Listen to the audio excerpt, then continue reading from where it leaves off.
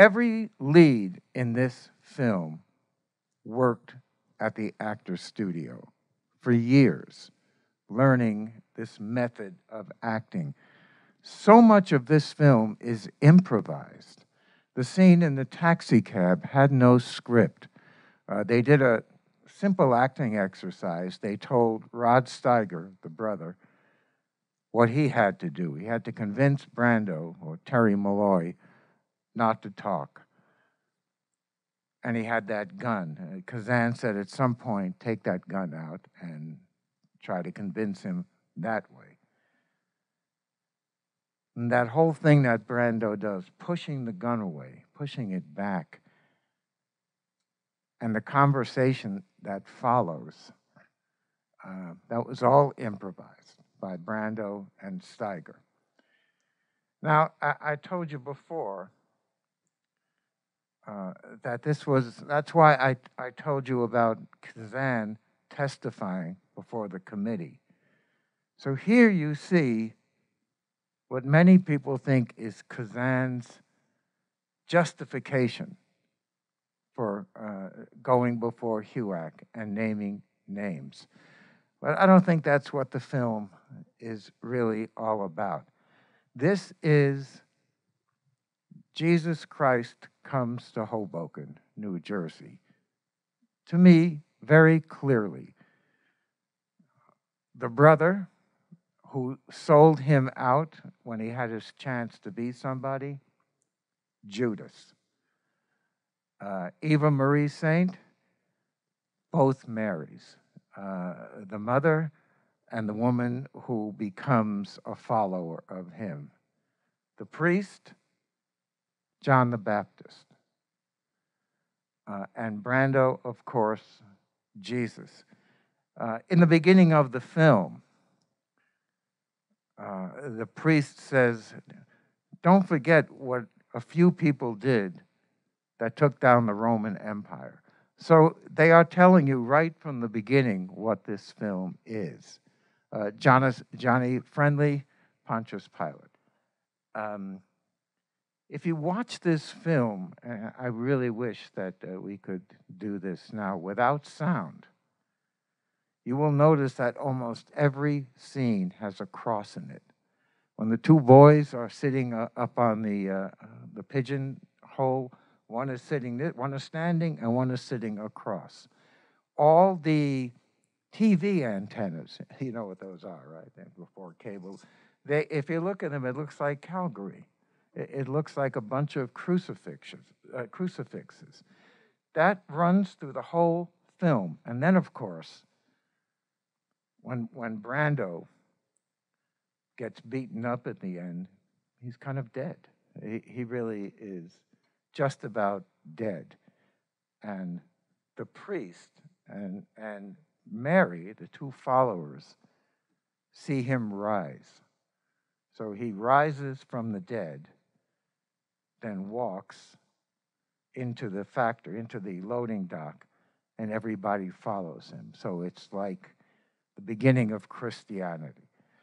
That's what Kazan wanted to show. Now, was he identifying himself with Jesus? Maybe, but it doesn't matter uh, to us as film goers. What, what matters is the way this film builds right from the beginning with the body thrown off uh, the roof, Joey, and how slowly Brando gets pulled into this dilemma where people start talking to him about his conscience and again, you, you have this idea of Christianity being born, this idea of sacrificing yourself for others so that you will live again through them. That's the power of the film. Um, this film ruined uh, Kazan's career uh, in Hollywood. This film was shot in New Jersey, in Hoboken, all the exterior shots on the docks, and the interiors were all shot up in the Bronx in New York, where there was a small studio.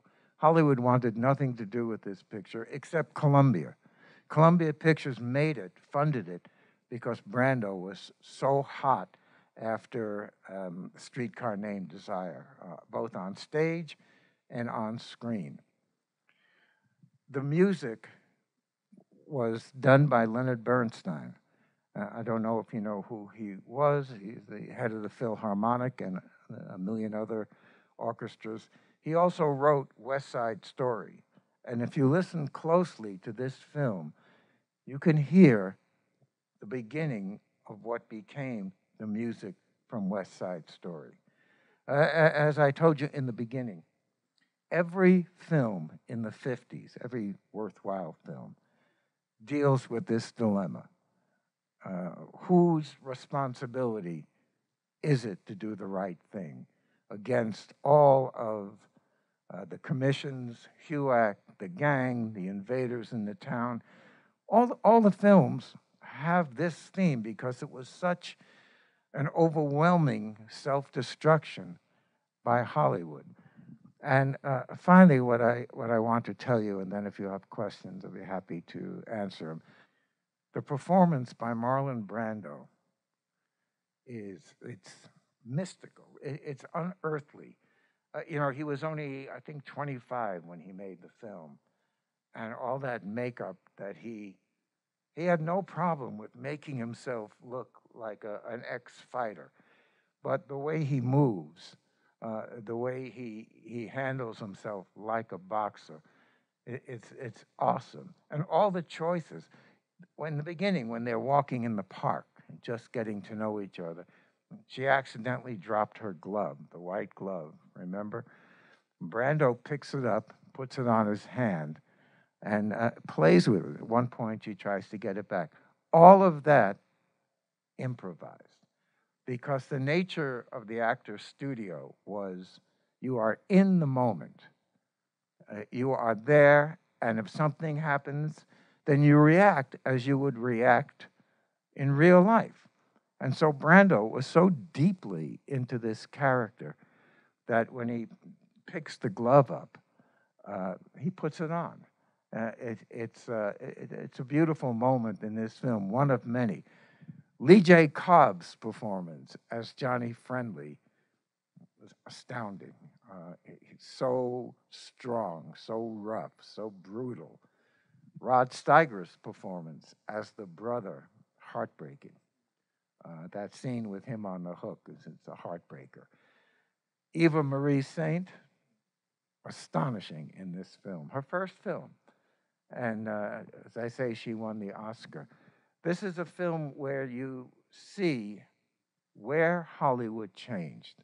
After this film, everybody wanted to act in this style uh, you know, no more uh, posing, uh, no more looking a certain way, feeling a certain way, following a script.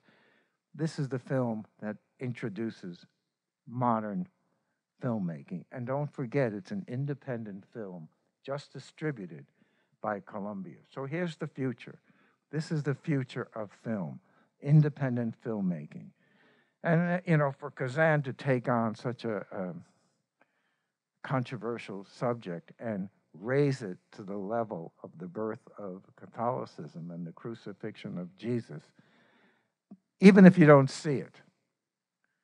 When Brando gets up at the end, um, there is such a sense of, uh, of triumph, of uh, rebirth, of, of uh, bravery, uh, of sacrifice, that you get it even if you don't get it. Um, there's never been a film quite like this. Brando never worked like this again because when they asked him why he didn't make more movies like this, he said that it was too painful.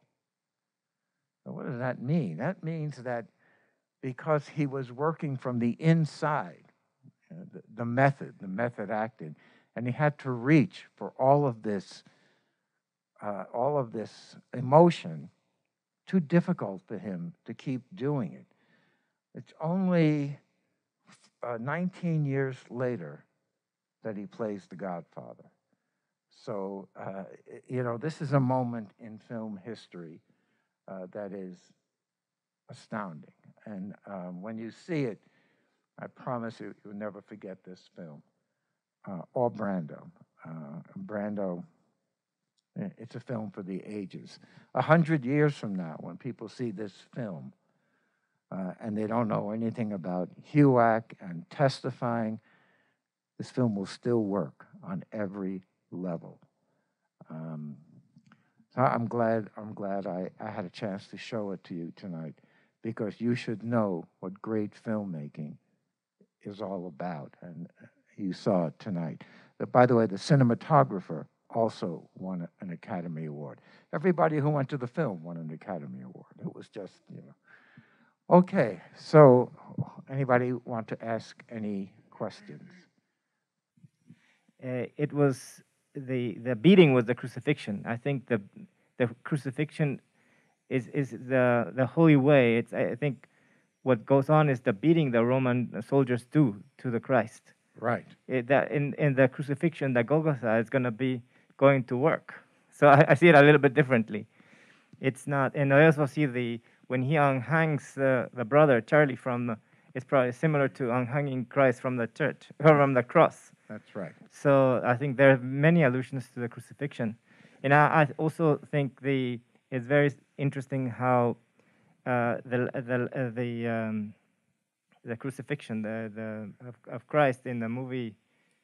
Uh, in the Mel Gibson uh, does a very good uh, in the crucifixion the scene where his, Christ has after the crucifixion and after the beatings has a lot of blood in his mouth. Very, very similar. I, I was came up right away. Uh, that image of the Christ after he was being beaten up, and after crucifixion is very similar to this this scene here. Uh, that's right. And if you notice, besides the Roman comment in front of the film, when, when uh, the priest in the church says, you know, just remember what a few a few were able to do against the Romans if they were the right few. And then in the middle of the film, you see another crucifixion, uh, uh, K.O. Dugan, who gets murdered. And that's really the turning point for Brando uh, when they start throwing things at, uh, at the priest. Uh, you know, when the, the, articles were written in 1948, the ones that won the Pulitzer, they were the story of the priest. He was the main character. And what he did was really in, in the film what Terry Malloy does. Uh, it, it's again Kazan who wants to shift the attention. Karl Malden's performance as the priest, unforgettable, just just so powerful, and so everything in this film goes against every cliche you see in in films. Um, this this structure in this film is so meticulous and so powerful that as it builds to the end, right up to the end, you don't know what's going to happen. When uh, you know he puts on the jacket, the robe. You remember Jesus's robe gets passed in this film from uh, person to person who's been sacrificed. Joey, K.O. Dugan, and then Brando gets it. And when he goes down for that fight, you don't know what's going to happen. But I'm sure nobody went for popcorn during that, that scene. And those that fight that they have, when you see Brando just pummeling uh, Lee J. Cobb, who's supposed to be this big tough guy, and then needs his henchmen to come in. It's very powerful. It's very moving, and it's it's very right. So all, all the scenes that, uh, not all the scenes, all, all the whole movie uh, that Kazan put together, as I always say in my film classes, uh, what you're not seeing is Kazan's work. You're seeing the results of Kazan's work. And uh, he really, because he identifies so much with Brando, he discovered Brando for uh, streetcar named Desire on Broadway. He himself feels crucified for what he did before HUAC. And that is where the power of this film lies. Brando could have made so many other choices that would have reduced this film, but he stayed with it. He stayed in character. Uh, one of my uh, favorite scenes in this film is when uh, she's home and he, he says, Open the door, open the door, let me in. Says, no, no, go away. And he breaks the door down and half the building. I mean, he, he, he's animal like. There's a little bit of Stanley Kowalski in him, but it's so powerful. Then he goes to Edie, and she can no longer resist. She becomes part of his following. So uh, we could talk about this film for hours and um, just begin to scratch the surface. Um, does anybody else ha have a question or a comment or something you want to say? Yeah, in the back. We have a mic coming up your way. Uh, I just wanted to say, like, there was this scene that completely like blew me away, like the scene where uh, Marlon Brando confesses that to Eddie that he was involved in the murder, and they go like to the near the ships and and like they you, you can't really hear them because there's like a lot of like noise. I found that completely like amazing because honestly for like a movie of those, that time it was completely different from anything that I've seen. Even nowadays, filmmakers don't or aren't as bold to like have like such an important scene being completely like muted by other noises. So I don't know. I don't know exactly what the purpose was, but I thought it was really different and I love that. I don't know what you think about it. Uh, that's a good comment. You don't have to hear it. You know what he's going to say. And Kazan makes a choice to have these sounds go off, these whistles. And, and the whistle, by the way, is an echo of the whistle that the, uh, the guy who hires people, there, there are these sounds that keep recurring in this film. And because he doesn't want to be script oriented completely, uh, you don't, it's more powerful not hearing the confession, seeing it, and hearing the sounds of the waterfront around him. You know what he's saying, and she knows what he's saying, and the priest knows what he's saying. So um, that's a director's choice that really works. Uh, it, it just makes it that much more uh, intimate in its own, its own way. Um, good comment. Uh, anybody else? Okay, then. So uh, thank you all for coming. I'm glad you had this experience. Uh, if you're a director, you can learn from the choices Kazan made. If you're a screenwriter, Bud Schulberg's dialogue is so colorful. Um, you know, rat means that you, you rat, you tell on somebody. He calls them cheese eaters. The whole film is a very poetic uh, script by Schulberg. Uh, they worked one more time together in uh, A Face in the Crowd which is another one of these astonishing movies. And really, that was it for Kazan. He made one film in uh, 1962, and Hollywood wouldn't go near him because um, Hollywood management identified with the Johnny Friendlies of the world, and the, the working people identified with Malloy, Terry Malloy. That's why the film swept the Oscars, because management doesn't vote for Oscars, only workers actors, screenwriters, directors, uh, set designers, producers, and, uh, and uh, uh, studio heads do not vote. Um, obviously, it would be a contradiction for them. So everybody loved this film, and everybody loved Brando in it. But as I say, he, he couldn't get there again. It, it, was like sticking a knife in his soul, and he, he just didn't, he made other choices, but not, not this. So you, you see what happens when you work together, when you all work in the, in the same method, you get this magic that comes off the screen that is compelling uh, uh, in a way that uh, very few films even approach. Yeah. Just one last. It's too much temptation to uh, not to ask this question please. In the last tango in Paris, um, you, sa- you said that Marlo Brando was uh, very interested in how he learned how to act. But Would it uh, this way, you know, how to feel, to be able to act, and how about the effect it had on Maria Shriver? Yeah, I don't know if you know this film, uh, Last Tango in Paris, but she literally went crazy. She was so disturbed. Uh, I won't go into what happens in that film. That's not the point, but it's just Brando felt it was. Brando felt it was important to feel like this to act better. Yeah, I also think that Brando made it because everybody thought he was an old man after The Godfather. And uh, he wanted to show that he was not an old man. It's a difficult film. It's, uh, it's uh, Bertolucci, I believe.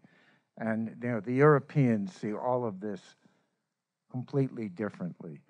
Uh, they loved this film um, because of Brando. And even if they didn't understand the language or anything, the electricity comes off the screen so so strongly. And, and interestingly, in Last Tango, it doesn't. Uh, it, it, it- and I don't think Brando cared. Uh, you know, he didn't have to. They paid him anyway. And uh, for Maria Shri- Shriver, Shriver, yeah, uh, she suffered greatly from that film. And uh, there are things that go on that uh, go see it sometime and uh, see what you think. But uh, you know, this this point, this is why I say in my classes um, that auteurism, as my students know, means you have to see all the films of a director. And sometimes, as, as I told you, uh, the actor is the one uh, who you focus on. So if you see this film and no other Brando film, you lose something in uh, the understanding of Brando as an actor. So see all of his films, this one takes its place uh, in the uh, pantheon of uh, Marlon Brando. Anybody else? Oh, by the way, did you know that Frank Sinatra was supposed to play this role of Terry Malloy? And he sued Columbia because they Columbia wouldn't fund the film with Frank Sinatra. Can you imagine Frank Sinatra as Terry Malloy? Going down to the dock and singing My Way? I, I um, and uh, after after uh, um, Frank Sinatra, Brando was offered the part, and the film was it depended upon whether or not he would do it. That's that's when they would fund the film. Harry Cohn of Columbia, he didn't want to do it because he too was offended by what Kazan had done. But Kazan convinced him uh, that this film was about something greater, and so he agreed to do it. Columbia agreed to fund it, and it uh, became one of the classics of all time uh, in my top personal five. Okay, I want to thank you all very much for coming. I appreciate it. I hope you like the movie, and uh, I'll be seeing seeing you all again. Thank you.